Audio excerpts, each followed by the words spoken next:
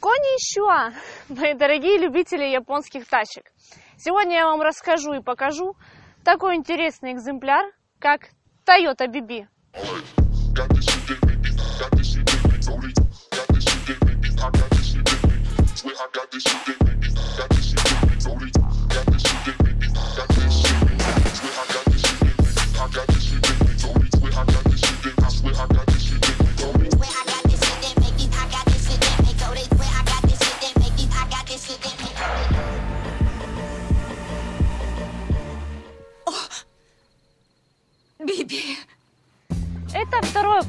Поколение Toyota BB. BB расшифровывается как Black Box. В переводе с английского черный ящик. Как вы сами заметили, она очень похожа на форму ящика, но слово черный означает то, что в эту машину можно как в черную дыру бесконечно и безгранично вливать очень много и много тюнинга. А тюнинг именно внешний, то есть тот самый стайлинг но многие его называют тюнингом. Ее преображают по-разному. Как вы видите, здесь она обклеена винилом. Также здесь может быть аэрография, различные какие-то обвесы. И, ну, в общем, на что у вас хватит фантазии, то сюда можно и впихнуть. Чем и занимаются все абсолютно, я уверена, владельцы Toyota BB. Но вот почему-то именно в этой машине, вот именно вот эта вот черная дыра, в которую любой владелец, наверное, всегда что-то да и дорабатывает. И лично на мой взгляд, данная вторая модель смотрится гораздо суровее, как-то брутальнее, нежели первая. Хотя чаще всего любят первую модель. Но мне нравится это. Внешний вид машины кажется очень компактным. А вот когда сидишь в нем, чувствуешь, что, что здесь очень много места. Например, убрав вот этот вот подлокотник, мы получаем полноценный диван. Здесь можно втроем аж сесть. Дальше. Рычаг переключения передач находится в левой руке, э, за рулем, то есть как бы не мешает ничего и здесь. В принципе, к этому привыкаешь очень и очень быстро. Также я хотела бы отметить обязательно приборную панель. Что касается приборной панели, она расположена по центру, то есть не за рулем, как обычно, а по центру. И на мой взгляд, это очень мудрое решение японцев, потому что очень удобно.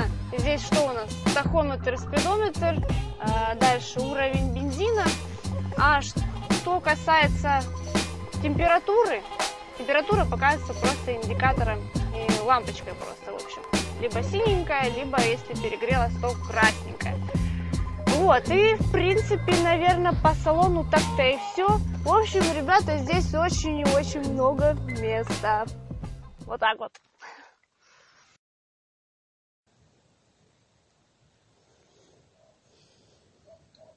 Настя, вообще-то снимаем.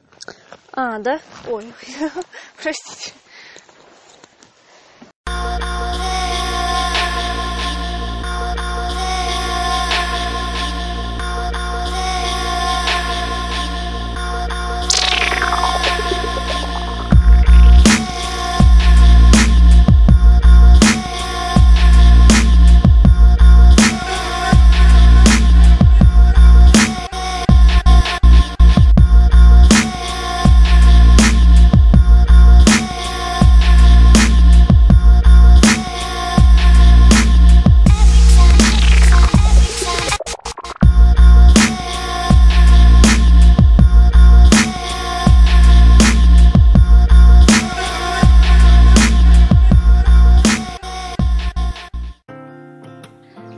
Модель у нас представлена переднеприводная.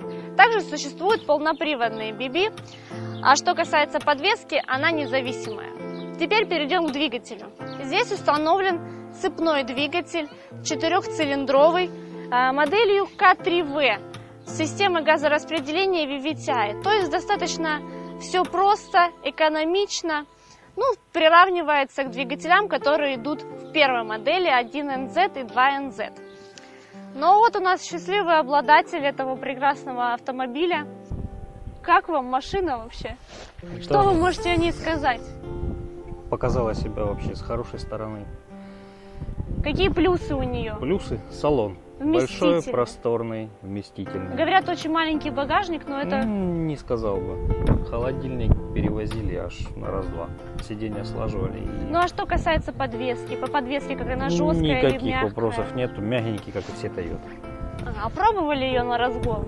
Вот сколько она максимум Сильно не гоняюсь, езжу, скажем, спокойно. Двигатель родной, да, стоит? Родной, никакой не контрактный, ничего не меняли. Ага, здесь получается автомат четырехступенчатый, да? Да. То есть без каких-то нареканий все работает хорошо, все родное. Все родное с маленьким пробегом. И как бы, скажем так, надо эксплуатировать аккуратно и следить за машиной. Вот так в целом Ну, вы этим и неплохо. занимаетесь, да? Хорошо Абсолютно следите? верно. Хорошо. Ну, мы на это надеемся. А вот что касается тюнинга, вот все э, владельцы данных машин очень любят экспериментировать. Само название, конечно, дает толчок Ну да. владельцам, чтобы они этим занимались. Это же не название, а формы. Дают. Формы? Формы. Ну да. Ну, еще я слышала такую версию, то что штатная музыка, штатная акустика здесь очень такая серьезная и бодрая. Штатная акустика тут хорошая, это в которых автомобилях аудиосистема с сабвуферами. Это, скажем, у меня простая система. Ну, я доработал, сделал виброшумоизоляцию с дверей, Мгм. и, соответственно, акустика улучшила свое звучание. Понятно. То есть здесь еще шумоизоляцию вы сделали. Да, для себя, для комфорта.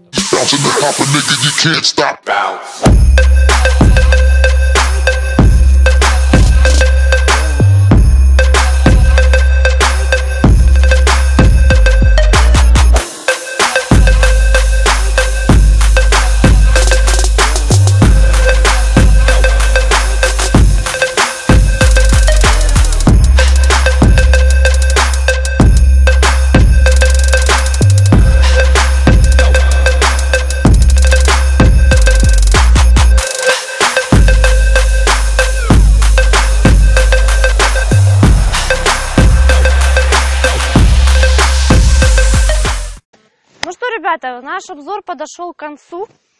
И я, конечно же, жажду ваших комментариев. Что вы думаете о данном автомобиле? Кто бы что внес, какие изменения в такую машину? Пишите в комментарии, пишите в личные сообщения. И, конечно же, ждите следующих выпусков. Всем пока!